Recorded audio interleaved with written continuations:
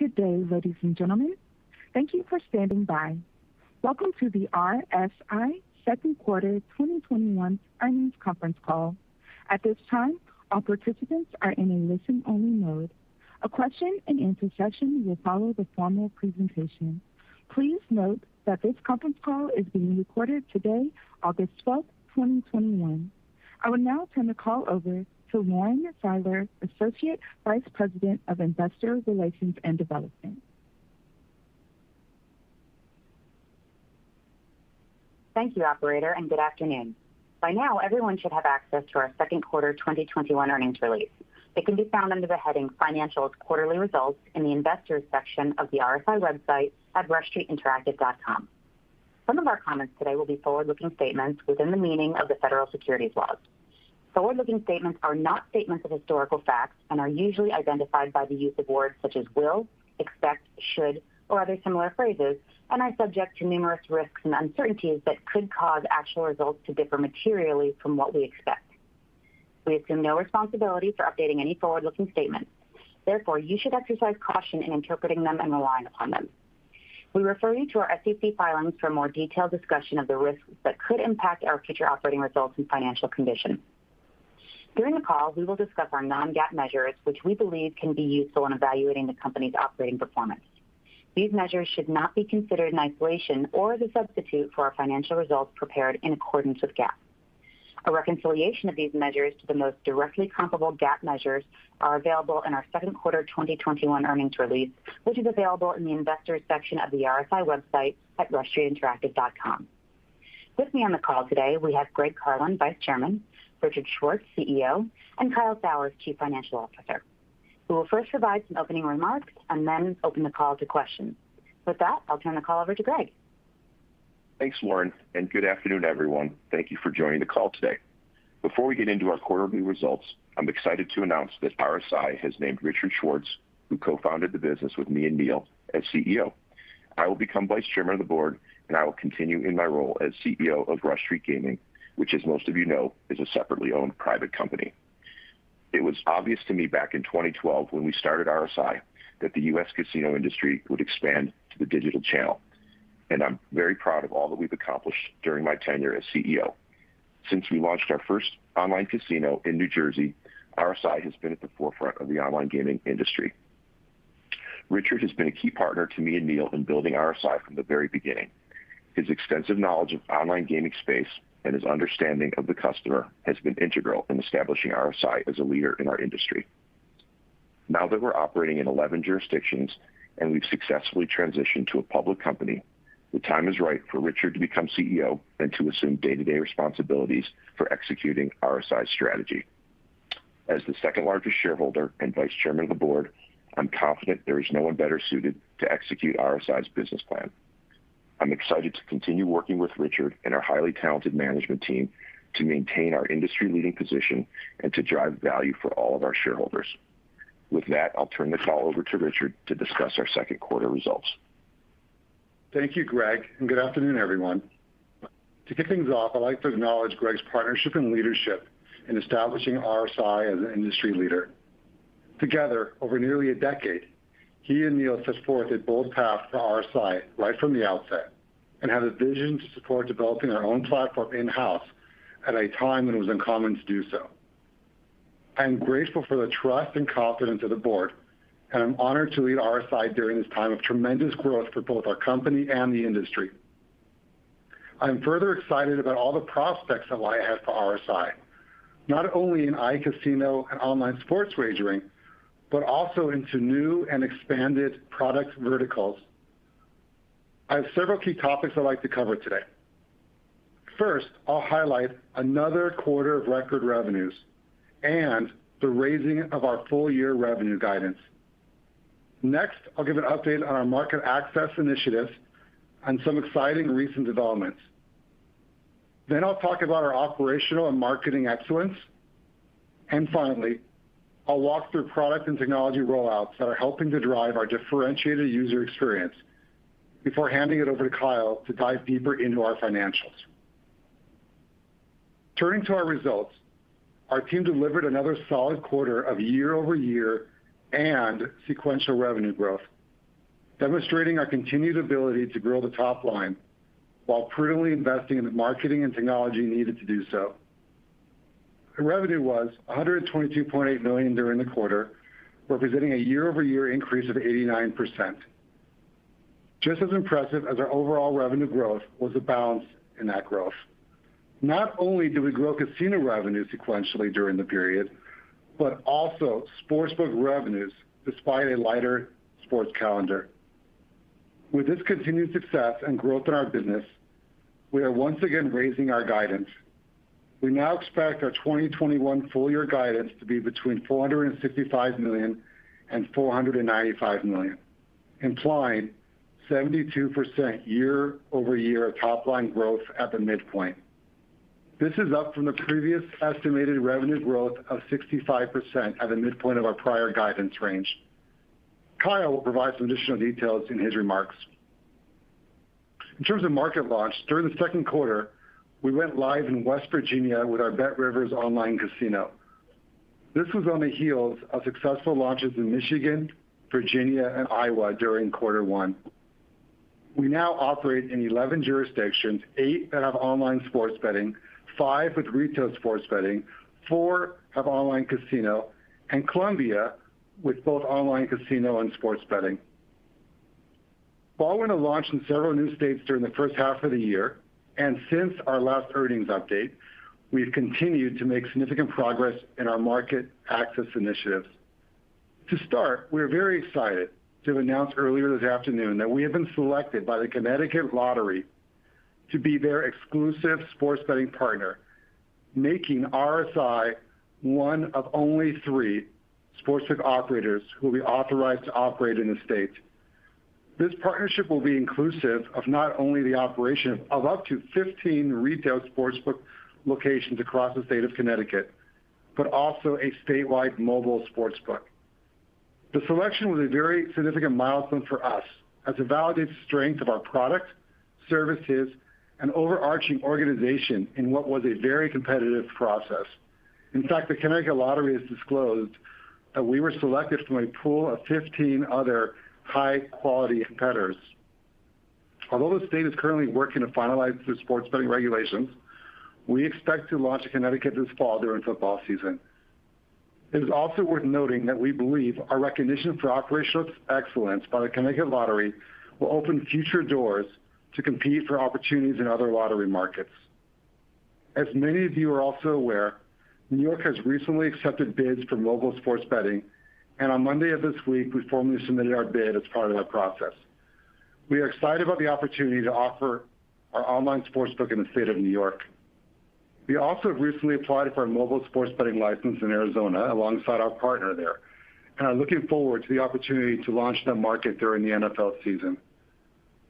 Another exciting development in yesterday's announcement was with Boom Entertainment. In addition to a minor equity investment in Boom, we have gained market access opportunities in Louisiana, Mississippi, and New Mexico for both sports and casino, subject to legislation and licensing approvals. Louisiana is the most imminent opportunity as enabling legislation passed in June and should go live soon after the mobile sports betting regulations are finalized. Lastly, we are continuing to plan our market entry into Ontario, which has an open market access structure and will be moving ahead with both casino and sportsbook. The RSI team has fantastic experience and relationships in that province, and we are really excited about the opportunity given the size of the Ontario market. As you can see, we have no shortage of near-term opportunities and expected state launches coming over the next couple of quarters, and our business development team is hard at work to continue the strong momentum to secure partnerships in many new jurisdictions. We also continue to be very encouraged by the legislative momentum for online sports betting and the addition of online casino to many states that already have approved sports betting. It's become very clear when looking at the numbers in New Jersey, Pennsylvania, and Michigan that online casino is a greater generator of tax revenue, and many state legislators are recognizing this opportunity. I now want to turn to some specific highlights from the quarter and exciting trends we are seeing. As I mentioned previously, we grew both online sports betting and online casino sequentially from quarter one to quarter two, including in each of our newly launched markets of Michigan, Virginia, Iowa, and West Virginia. Thus far into Q3, each of these states are continuing to see growth, with our per-day net revenue trending higher quarter-over-quarter. In Michigan, which is a highly competitive market, and West Virginia, where we entered a little later than some of our peers, we have seen a nice progression of market share gains since launch. In fact, we grew our market share in West Virginia from 2.6% when we first entered the market in April to over 8% in July, despite strong competition. This is just further evidence that once we introduce new players to the BetRivers platform and our superior user experience, we are able to win them over and retain their loyalty. I also think it's important to point out that we are now profitable in four of our markets. We talk a lot about marketing investments, payback period, and the retention of our customers, that positive contribution is strong evidence that as markets continue to mature, we can and we will drive strong profitability over time. As I discussed earlier, there will be plenty of new markets to invest in over the coming quarters, which will put us in investment mode for the time being. But we are proud of our ability to be disciplined and calculated in the way we invest and ultimately generate substantial profitability for markets as they mature. Now I'd like to switch gears to talk about some of our marketing initiatives, investments, and the results we are seeing from them. First, I'd like to highlight a very exciting partnership that we announced earlier this week with NFL legend Mike Ditka. We couldn't be more excited to have Mr. Ditka on our team as a BetRivers brand ambassador and look forward to working alongside him and our other ambassadors to create new and exciting content for our players to enjoy. From a marketing spend perspective, after going public, we accelerated our spend significantly in Q1, which was impacted by investments in new state launches, particularly in Michigan. In Q2, our spend decreased modestly compared to the first quarter as the sports calendar was a little lighter and we found ways to target our marketing spend more efficiently. As we head into football season and leading up to what we expect to be several notable state launches later this year and into early 2022, we expect our marketing spend to increase again as we see a lot of opportunities to add players to the platform. Our ability to market effectively is critical to our success. We remain a data-driven organization using dynamic learnings and analytics to acquire, convert, retain, and re-engage customers. Real-time insights from our business intelligence team allow us to continuously optimize our marketing spend based on a return on investment-focused model. This model considers a variety of factors, including the products offered in the jurisdiction, the performance of diversified marketing channels, predicted lifetime value, marginal costs and expenses, and behavior of customers across various product offerings. When it comes to the efficiency of our marketing, we continue to see great results. We still have an average payback period of six months for all of our cohorts since inception, with one-year and three-year payback of 4x and nearly 5.5x respectively. Our marketing spend during the first half of the year was 33% of our revenue, further demonstrating our ability to convert marketing investment dollars into top-line revenue. Given the strong results, we are willing and able to increase the time period over which our cohorts pay back, but will only do so prudently and with an eye towards long-term profitability. These marketing efforts continue to pay off in terms of attracting new players as our monthly active users, or MAUs, were up 128% year-on-year, our average revenue per MAU was up 25% sequentially to $377 during the quarter. Shifting gears a bit, I also want to take a moment to congratulate all the employees of Rush Street Interactive for being named Customer Service Operator of the Year, Casino Operator of the Year, and Social Gaming Operator of the Year at the 2021 EGR North America Awards. EGR is a highly respected organization that celebrates excellence in the industry by recognizing leading operators. These awards, as voted on by industry experts, are a testament to the efforts of the whole RSI team and a further recognition of our industry-leading player experience. Now, for one of my favorite topics, product and technology. It's been quite a busy quarter from a technology perspective here at RSI as we continue to strive to offer a best-in-class user experience. Our customers are loving many of the new features and content that we've gone live in recent updates. For example, in the casino category, we've seen a very strong early response to our live dealer offering in Michigan. With live dealer already offered in New Jersey and Pennsylvania, we expect the product to drive similar excitement amongst players in Michigan.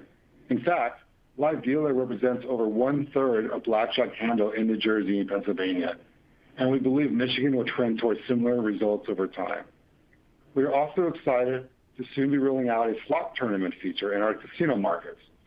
In addition to those features, we launched several exciting new titles during the quarter, with the biggest being All Aboard Dynamite Dash in New Jersey, Pennsylvania, and Michigan, a very successful land-based game that was brought online. We also launched IGT's Mega Jackpot games in New Jersey and both AGS's Red Silk and Scientific Games' Endless Treasure in Pennsylvania. Finally, in Michigan, we went live with several Konami games, including China Shores, Dragon's Law, Twin Fever, and Solstice Celebration.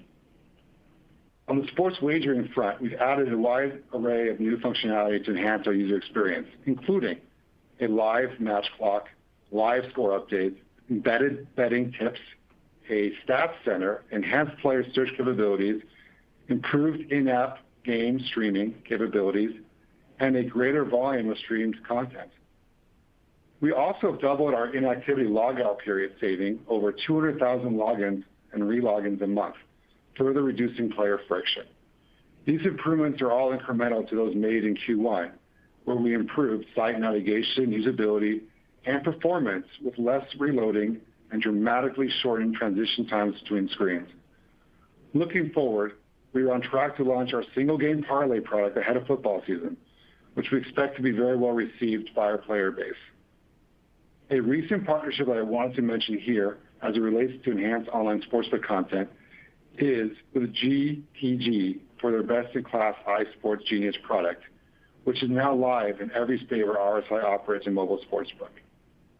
We are very excited to partner with GTG in bringing co-exclusive customer education, sports data insights to our bettors, with facts covering all major sports, including the NBA, MLB, NFL, PGA, NHL, UFC, and NASCAR. Speaking of our sports betting improvements, Eilers & Krejcik recently released their sportsbook app rankings, and our new BetRivers app moved up to and was rated number four out of 31 brands tested, validating from a respected and independent source that the improved functionality and user experience just described in our app is real. As we continue to launch in new sportsbook markets, we are excited to see the reception from first-time BetRivers users when they experience our significantly upgraded app in conjunction with new features and our award-winning customer service. As previously shared, we also remain committed to launching our combined sportsbook and iCasino iOS app in Pennsylvania and Michigan in the back half of 2021. While we've seen significant success in both markets, an iOS app in these two markets, in addition to existing desktop, mobile, web, and Android app options, will help expand our reach to additional players. With that, I'll turn the call over to Kyle. Thanks. As Richard mentioned, second quarter revenue was $122.8 million, an increase of 89% year-over-year. And the adjusted EBITDA loss for the second quarter of 2021 was 6.6 million, which is less than half of the loss in the first quarter, despite the sequential revenue growth this quarter. Our adjusted advertising and promotions expense was 36.9 million during the second quarter of 2021, compared to 7.4 million in the prior year quarter and $40.5 million during the first quarter of 2021. This reflects our year-over-year commitment to accelerating our marketing spend to take advantage of strong returns, but also our rational approach to ensuring we put our marketing investments to good use. We expect marketing investments to increase into the third and fourth quarters as we enter the football season and execute on the expected launches in new markets that Richard referred to earlier. Our G&A grew modestly from Q1 to Q2, moving up to 8 million from 7.6 million. we continue to build out our development teams and corporate infrastructure to support the substantial growth we're expecting over the coming years. We expect this line item to continue to grow in the coming quarters. As a reminder, our adjusted EBITDA for the quarter removes the effects of share-based compensation, which was 4.7 million during the second quarter, while our year-to-date results remove the effects of share-based compensation, the change in fair value of earn-outs interest liability, and the change in fair value of our outstanding warrants, which were all redeemed or expired during the first quarter of this year. We continue to be in great position with 361 million in cash on the balance sheet and no debt. This allows us to continue to increase our investment in marketing, launch in new markets quickly, and remain opportunistic with regards to external investment opportunities. As Richard highlighted earlier, we're increasing our 2021 revenue guidance for the full year to be between $465 million and $495 million, up from our prior range of $440 million-$480 million. This revised range implies 72% year-over-year top-line growth at the midpoint, which is up from our year-over-year revenue growth of 65% that we were expecting on our last call. We're seeing strong results across the business, and this increase reflects our confidence in the continued strong trends we've been seeing so far during 2021. We've talked about many new market opportunities that are hopefully opening up later this year. But just as a reminder, our guidance does not include any contribution from markets that aren't live as of today. With that, operator, please open the line for questions. Certainly. We will now begin the question and answer session. If you would like to ask a question, please press star followed by one on your touchtone keypad. If for any reason you would like to remove that question, please press star followed by two. Again, to ask a question, please press star one. As a reminder, if you're using a speakerphone, please remember to pick up your handset before asking your question. We will pause here briefly to allow questions to generate in queue.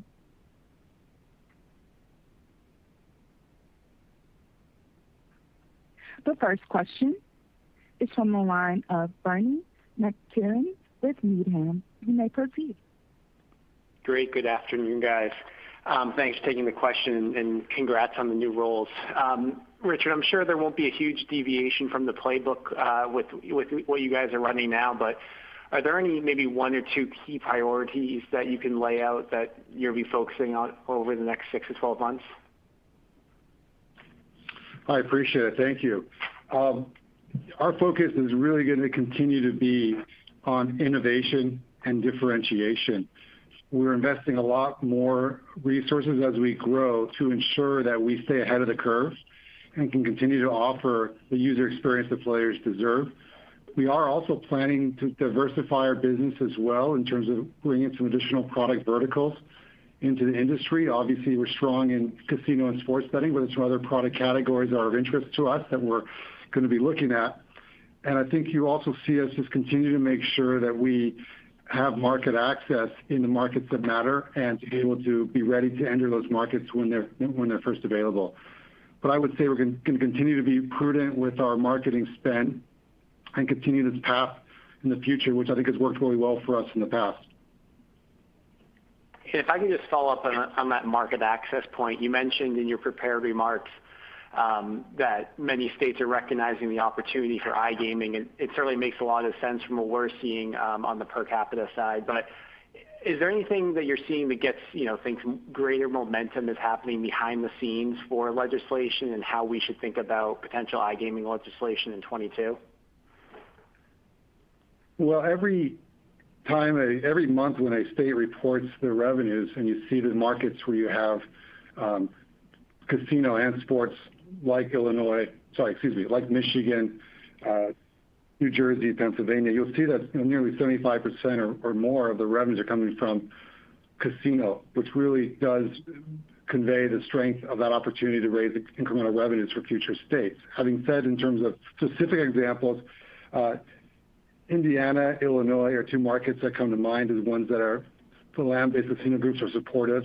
The online companies are lobbying for it, and the states are recognizing the opportunity for increased revenues from the online gaming business. And frankly, adding casino games is not a particularly challenging way to increase revenues in a market or in a state. So uh, we also are, you know, hearing about other states like Georgia, Alabama, North Carolina have potential interest as well. But I would say that uh, it's something that we're tracking very closely, but don't have a particular stronger insight on that, you know, as I speak to you today. Great. And then just lastly for me, could you just review the relationship that you have with Rush Street Gaming? And and can you remind us if you have access to their customer data to be able to target iGaming and OSB customers? And if so, how helpful that has been? Sure. We're a supplier to the RSG, Rush Street Gaming, Uh, land-based casinos. There's four of them, uh, one in Schenectady, one in uh, Illinois, and two in Pennsylvania. We're the supplier of retail sportsbook services and help support the operational support of their sportsbooks. We also support supply them with a social gaming product. And when it comes to the online gaming, we operate and run the sites on their behalf Uh, uh, in the way that we've described previously. Um, when it comes to databases, yes, we are able to uh, leverage it in collaboration with those properties, and that certainly helps to ensure that we have the omni-channel strategy working well. And we've seen a lot of success in being able to really approach online gaming from the understanding of a land-based casino. We were able to drive traffic from land-based properties online, but but also reciprocate that, be able to bring the online players back to the land-based property, which does bring greater loyalty to the brand, both online and in retail environments. Great. Thank you. Appreciate you taking the questions. Appreciate it. Thank you, sir. Rob. Thank you, Mr. McTernan. The next question comes from the line of David Katz with Jefferies. You may proceed. Uh, hi. Afternoon, everyone. Thanks for taking my questions. Uh, congrats, uh, everyone. Um, I wanted to just talk about, you know, content capabilities and get your updated thoughts with respect to which of those as you go forward and how you think about, um, you know, developing and providing capabilities that you've developed yourselves versus, you know, uh, B2B providers or tuck-ins, et cetera. You know, how do you think about whether to build, buy, or rent, I suppose is the ultimate question. Sure. That's a subject I'm really passionate about because I certainly understand uh, the desire to always have world-class products. And what I've seen many times in the past with other uh, in the past in this industry is that you might buy something, but it may not be world-class, and so you're better off using leveraging world-class products and Eh, than owning something yourself that may be inferior in some ways to what's available.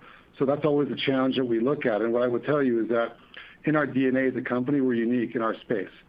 Most of our competitors in our industry are really either marketing firms or IT companies that leverage third-party solutions. Our DNA is a gaming company. We know how to build experiences. We know how to manufacture fun. That's a challenging thing to do because you have to have your own technology stack like we do, an engineering team that's very talented and actually know the insights of what to build and to execute it on the right way. And so that's something that we've done. We've built a couple of our own games in the past in the casino category in blackjack, and they happen to be the strongest performing games that we've had in uh, the New Jersey market. They've been with us for years. We plan to do some additional development in the future. Uh, but what we really have as a core strategy is not to always feel like we have to create everything ourselves, though, but to take really high-quality, world-class products from our partners and add our own spin on top of it. Because we have the know-how and the resources and the technology in-house, we're able to take things that exist and build our own layer of innovation on top of them to create experiences that are unique, that a player playing those games on a different site won't have the same experience uh, playing. So we continue we want to continue to do that because that really differentiates the way we treat our players and experience they get when they play with us. So while we are looking for some tuck-in opportunities, and we always will be evaluating ways to enhance content, uh, we do continue to feel like the best resource effort is really on taking really high-quality proven content and adding our own layer, middle layer of innovation on top of it that creates an experience that's unique to the players. So if I may follow that up, because I think you sort of ended that right in the direction I was hoping to go, which is, you know, what's obviously happening uh, around you very recently is, you know, some pretty big deals and acquisitions and big getting bigger. Um, and you know, is it always a content differentiation and an execution that's gonna separate you? Or at some point, you know, does size matter? And how you're thinking about that, particularly in the past two weeks. You know, if you look at the user experience, size matters more in product categories like poker or daily fantasy, where you have a liquidity, where the larger volume of players you have on a single site creates a lock-in effect that makes it harder to compete. In a market like casino and sports betting, which is the majority of the revenues uh, being generated in the online U.S. markets, uh, the player experience doesn't really get impacted whether you have five players on a site or 5 million players. So our focus is to continue to offer the best user experience. At the end of the day, players are gonna notice the way they're treated, approach that you provide to them as an operator in terms of transparency and honesty. And the unique features you offer that other sites don't offer gives players a reason to stay with you. So I think that if we continue focusing on what we do really well, our products will continue to mature and improve, our user experience will advance. And if we continue to have award-winning customer service to make sure players feel like we care and that we're treating them with respect and in a high quality way, we feel like we're gonna continue to grow as we have been growing because of those those qualities. So we don't think you have to buy your way to market share. Uh, certainly we are always looking at options and exploring every uh, angle possible. And but at the moment, we continue to feel like the best course of action is to continue to do what we've done so far, which is to focus on the user experience and differentiating it. Perfect. Thank you. Thank you, Mr. Katz. The next question is from the line of Ryan Sigdahl with Craig-Hallum. You may proceed. Good afternoon. Uh, Richard, congrats on the new role. Appreciate it. Um, thanks, Ryan. You mentioned four states are profitable. Uh, are you able to name which four those are? Yeah. So uh, this is Kyle. Uh, thanks for the question, Ryan. Um, I'm not gonna go into it state by state. We did wanna highlight that as um, an example of how when markets mature, we do get to profitability. Uh, you could read into that a little bit about which which uh, markets we've been in a little bit longer. We did specifically talk about uh, New Jersey a couple of months ago, um, being profitable for the full year 2020, and that is one of those states. But um I think I'll stop short of going going state by state in talking about the profitability.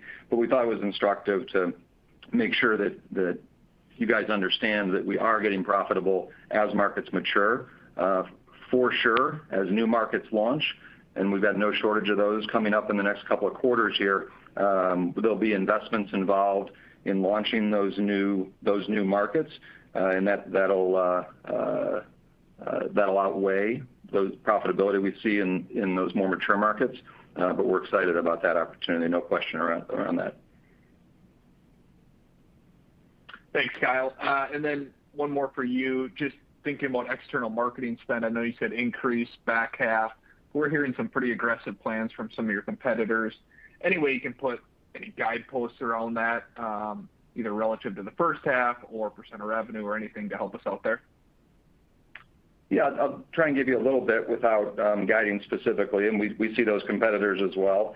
Um, and as we, you know, we talked about marketing spend decreased a little bit from the first quarter to the second quarter, Uh, which really is probably more reflective of a lighter sports calendar, uh, getting past the uh, new market launch in Michigan.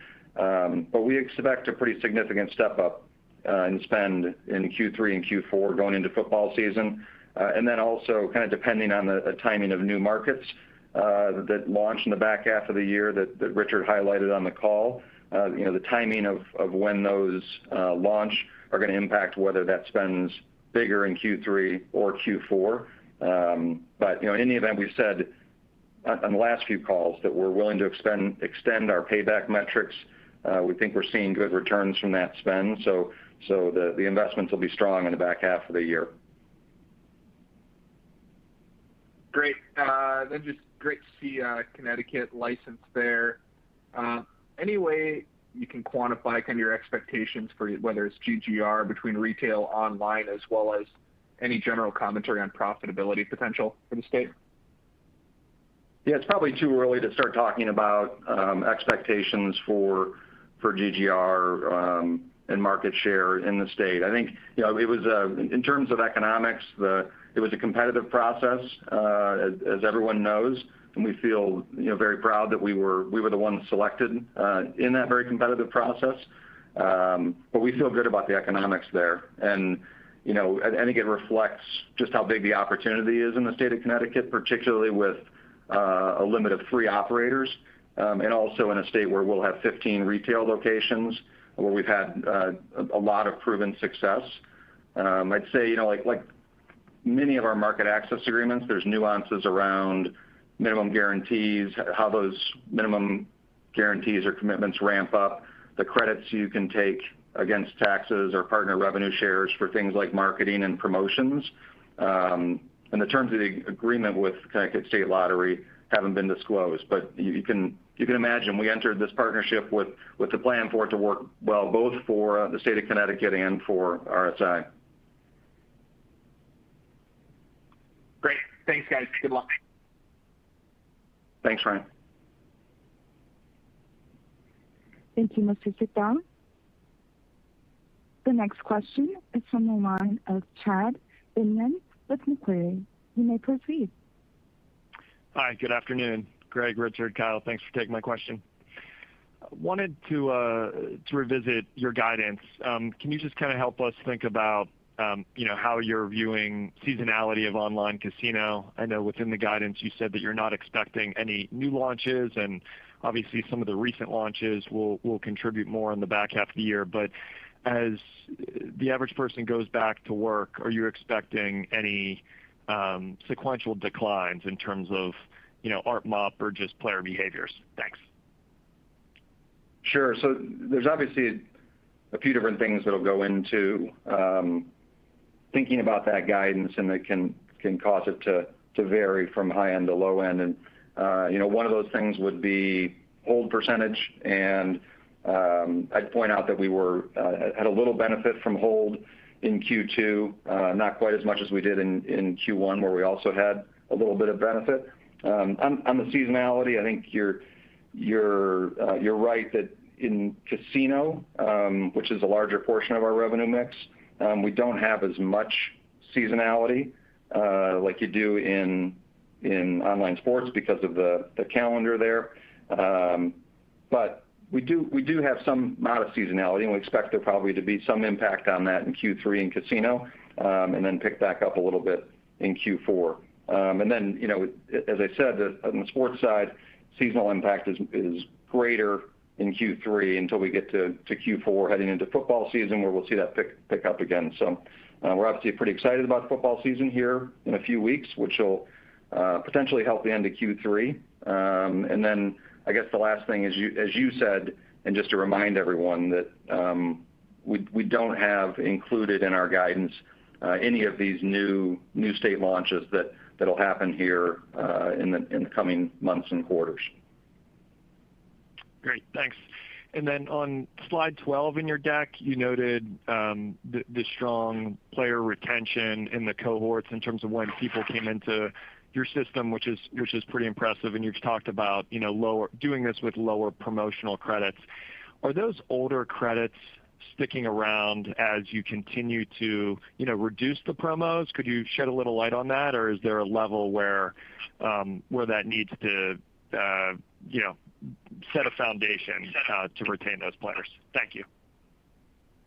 Maybe just to clarify your question, are you are you asking if um, promotions need to remain at higher levels with players that have been on the platform longer, or does that uh, Exactly. The level of promotional activity dissipate over time?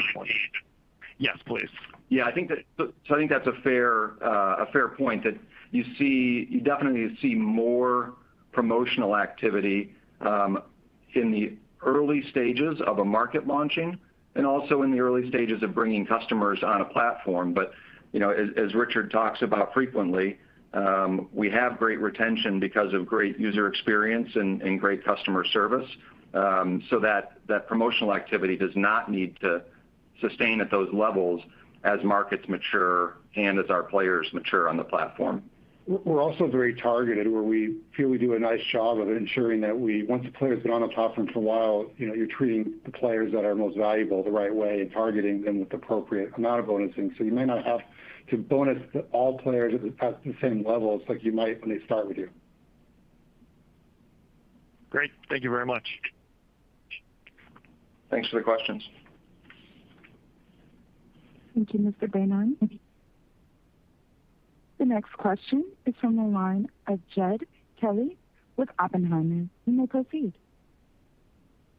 Hey, guys. This is actually Simon for Jed. And Richard, congrats on the new role. Um, with the strong engagement you guys saw in the quarter, have you seen a larger mix of new online casino customers as the sports calendar softened? And then would you say that 2Q ARPU was driven by higher online casino mix, or are you just gaining stronger wallet share across all customers?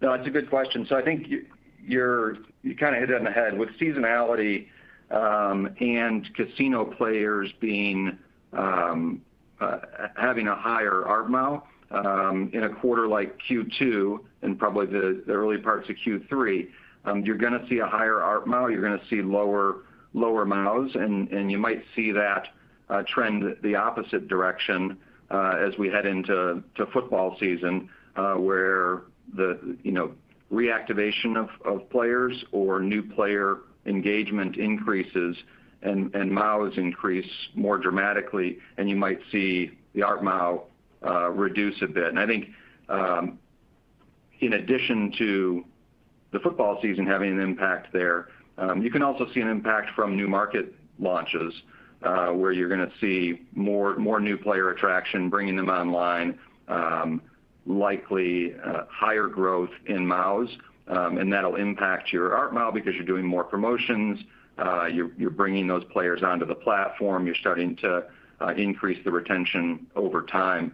Uh so hopefully that gives you a little a little context on the ebb and flow, and it is gonna change over time.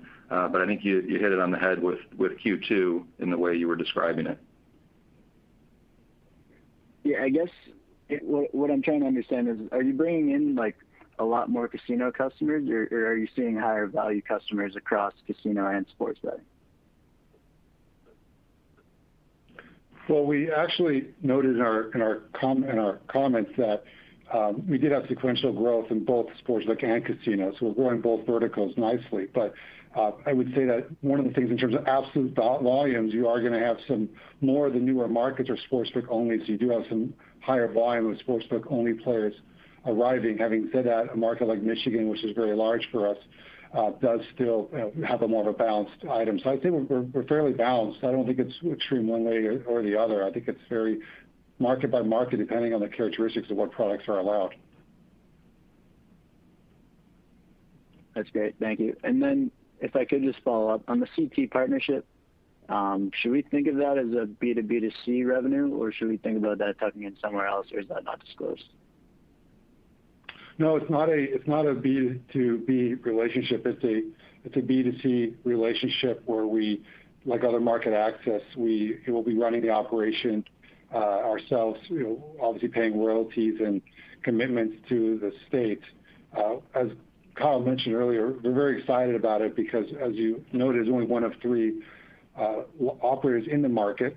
And in particular, it plays to our strength of having these 15 retail locations spread around the state. Really, most people living in Connecticut will be within a 30-minute drive from these retail sportsbooks. And we see that you can sign up a lot of players online from retail locations like that, which we've seen in markets like Pennsylvania. So uh we're real excited about that potential, but we will be operating the site Uh, in close coordination with the Connecticut Lottery. It was a very efficient, very professional run uh, RFP process, and we were very proud that they really liked our responsible gaming approach, liked the quality of our product, the award-winning customer service, the uniqueness of our uh, user experience. And all those things combined, I think, made it a very attractive proposition for both of us.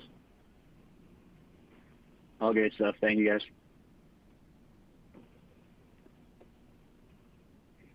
Thank you, Mr. Kelly. The next question is from the line of Mike Hickey with Benchmark. You may proceed. Hey, Greg, Richard, Kyle, Lauren. Uh, congrats on the quarter, guys.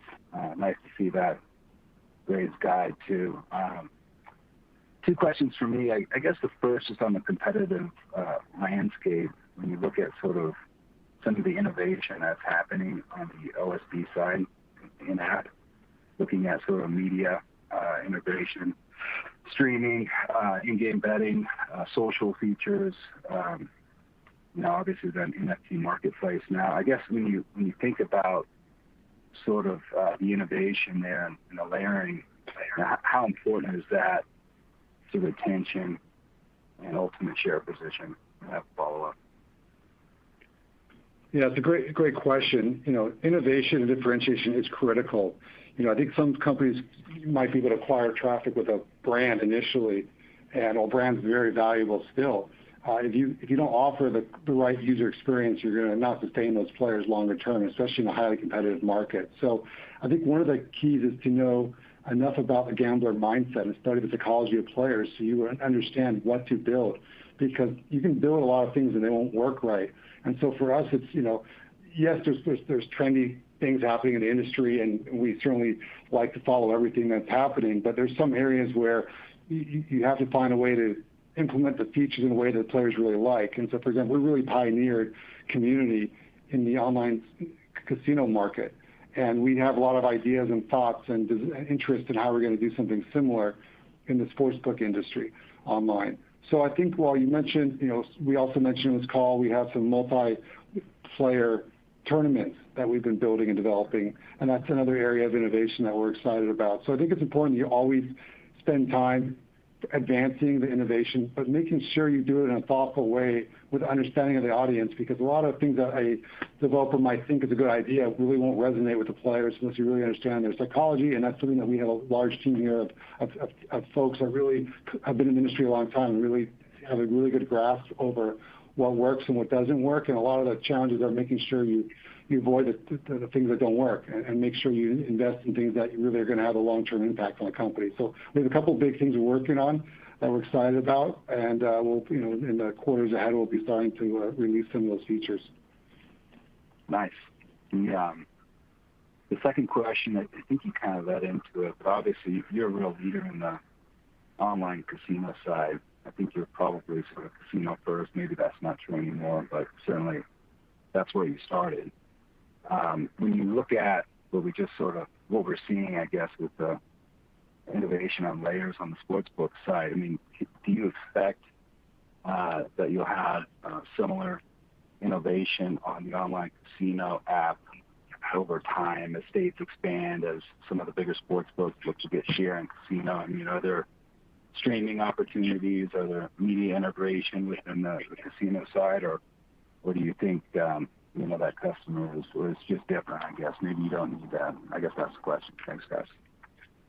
Yeah. Well, the sportsbook and casino categories are surprisingly different in how you build product in our view. I mean, in the sportsbook, it's a transaction-based engine, and you have the ability to, Um, you know, the action's on the field. So it's about having the speed and ability to deliver the little things to give players the insights into making better decisions and making sure that things move at a fast pace and that you offer them a fun experience to bet on. And so Bet and watch with the streaming is something we've invested quite a bit in, and we have one of the leading libraries of stream content, we think, in the market available today.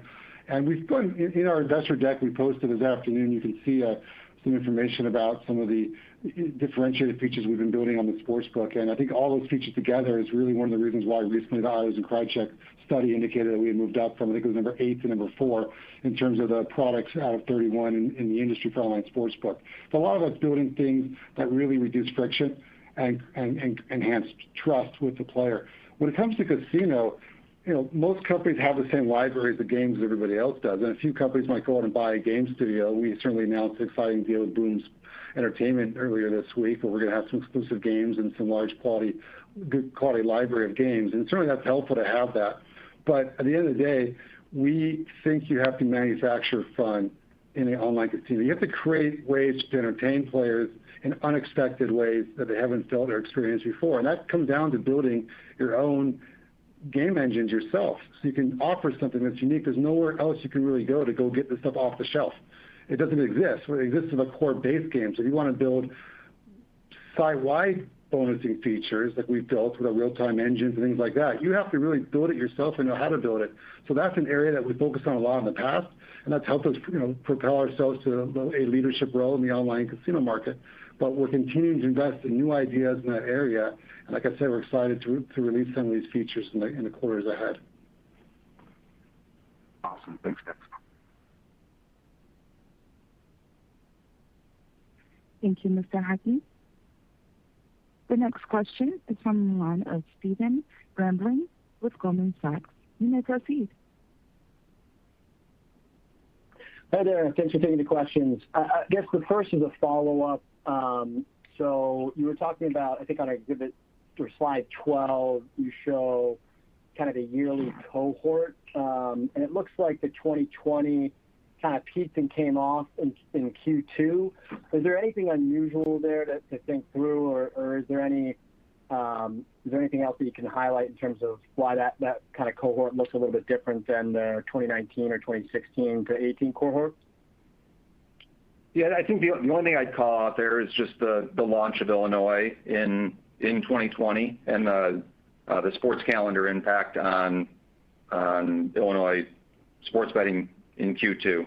Um, so I think that'd be the one thing that I'd mention that probably impacts that a little bit differently. Got it. And then, um, maybe changing gears, how does the process in Connecticut and the outcome there, you know, inform how you think about New York, um, and your strategy to try to win a bid there? We don't think it really informed it very much because each state has a different decision-making process, and there's different uh, different aspects being considered in what was the uh, winning uh, bid or winning RFP submission in the case of Connecticut. Um, when it comes to New York, we obviously um, have, you know, submitted a response um, to a request for applications by the New York State Commission, and we're excited, you know, by the opportunity to uh, compete in that market. Uh, we haven't really planned to share much on the specifics of that bid uh, on the basis that the New York Gaming Commission's procurement process is still ongoing, and we certainly are going to wait for direction from them before we announce next steps there. But we certainly think that you being strong in the Northeast, though, we certainly think is helpful. Got it. And I know that you touched on this a little bit before, but uh, I just want to make sure that I understand correctly. I guess, how do you generally think about quantifying what I describe as maybe like maintenance marketing for customers that you've already acquired but need to kind of keep engaged? Thanks.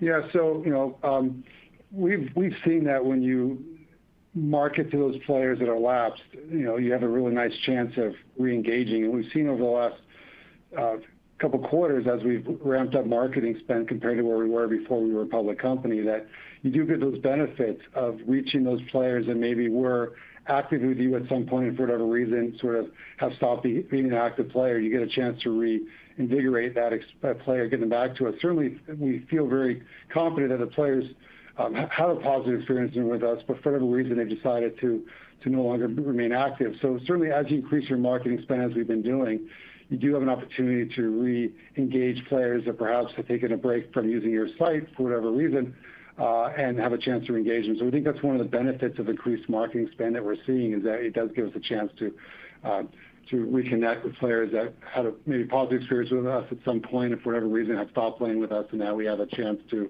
uh, regain their loyalty. Great. Thanks so much. Thank you, Mr. Grambling. There are no additional questions waiting at this time. I would like to pass the conference back to Richard Schwartz, CEO, for any additional remarks. Well, thank you for all the great questions. I'm excited to be taking the CEO role at this incredibly exciting time for Rush Street Interactive. At no time in my history at RSI have I been more excited about how we are positioned to succeed in this rapidly evolving and growing market. We have proven that we are a market access partner of choice and expect to continue to add to lists of locations where we've already found market access partners. We have a proven operating model with fantastic player experience and retention, strong marketing returns, and ultimately, profitability that is proving out in maturing markets. Lastly, as a few questions here raised today indicated, we are innovators. We are continuing to create experiences for players that keep them coming back to our platform for the engaging and world-class experience we offer. We have proprietary technology that accelerates the development of exciting new features, while at the same time allowing speed to market and strong integrations with world-class partners. Thank you again for joining us today. It was a pleasure speaking with you. We look forward to doing so again soon.